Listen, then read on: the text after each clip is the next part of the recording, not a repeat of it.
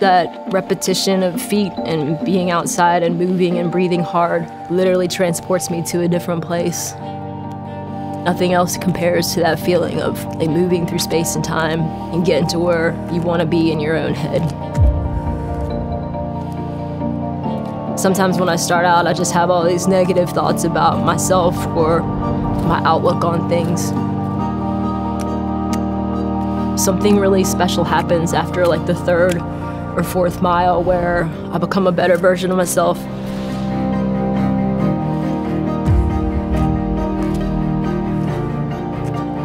And I feel like I have some hope and I have the courage to have hope.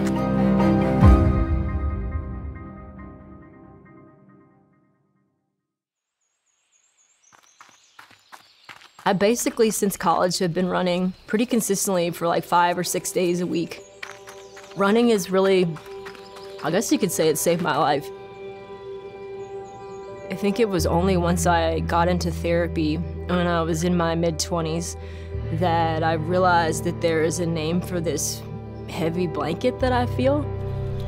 And I am really uncomfortable with labels, but when I really understood the definition of depression, I thought, oh, that's me. And if I feel like I'm going into the hole, my shoes are always like where I can access them. Because I know if I can get out the door, I'm gonna be better. My name is Erin McGrady, and my pronouns are she, her, hers. I currently live in Asheville, North Carolina. I've been here for six years. I was raised outside of uh, DC, so moving to the South was a bit of a culture shock for me. Hey, yo! Welcome, come on in. What you see is what you get. This is the kitchen, the living room, and the office all in one. I'm a runner, writer, content creator, photographer, and uh, I spend half the year on the road with my wife, Caroline Whatley.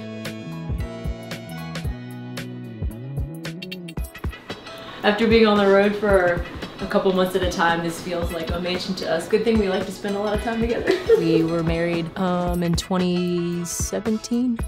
We got tattoos because I could never remember that, and so we didn't get to update them, and I'm always like, okay, let me look at my wrist. I left my teaching job that I had for 10 years, moved to Asheville. People thought we were moving too fast, but when you know, you know, and we knew, so yeah, we're just doing life together now. These are the first pictures when I got home and I, I guess I met my mom. This is my mom here. She was in her early 30s when she and my dad adopted me.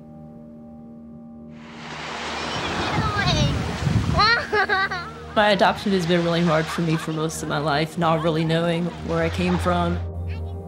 I didn't understand that like I was here to stay.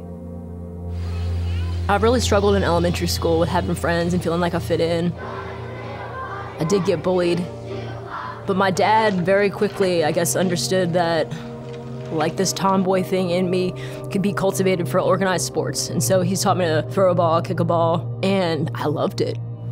Once I got to be like middle school and other kids found out I was good at sports, um, that really just like opened the way for me and helped me socially with finding friends and beating back the depression. But that's the gift that my dad gave me. Luckily, Caroline has been really welcomed into my family. Um,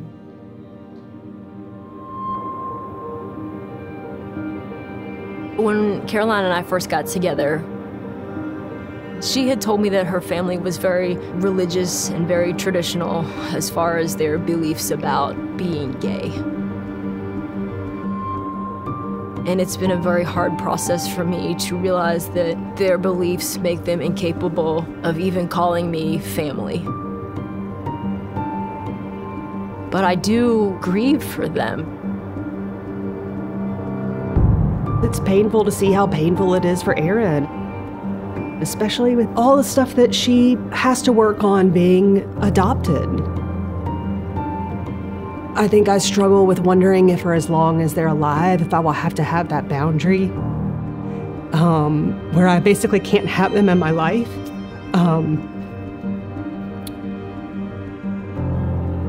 the only thing I can make sense of is that they're just so terribly afraid.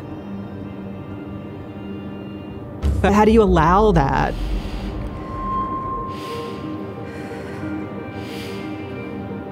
Running is a medicine for us.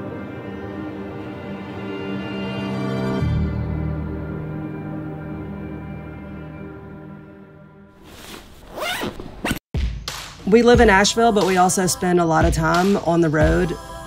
I have the responsibility to pack in the van. And it's super small, so everything in the van has to have at least two purposes. We've been working for Dapper Q since 2017. We basically go into these different cities and create guides to help queer people access safe spaces. We'll kind of canvass the area for a minimum of 48 hours. What I love about Savannah is the live oak trees, the Spanish moss. It's just a beautiful city. We love to travel, and as queer women, we know what it's like to be uncomfortable in a new place. We've had a couple of instances where we've decided not to hold hands because we did fear for our safety. The city guides we make for Dapper Q allow us to try to ease that fear for other queer travelers. Stepping into a queer space in a city like Savannah is a breath of fresh air where you can kind of let your guard down. You feel like you belong there. We mainly focus on the Southeast. We've done them for Amarillo, Texas, Cleveland, Ohio, Durham, Asheville. No one wants to go somewhere and have an unsafe time. There is still a need for these kinds of things to be made because we're just not there yet.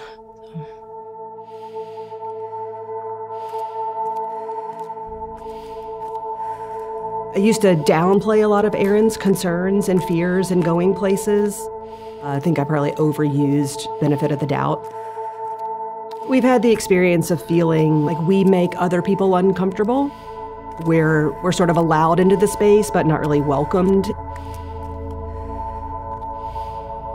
It's a question for both of us all the time if it's really because we're gay, or if it's really because we're biracial couple, or if it's really because Erin's Asian.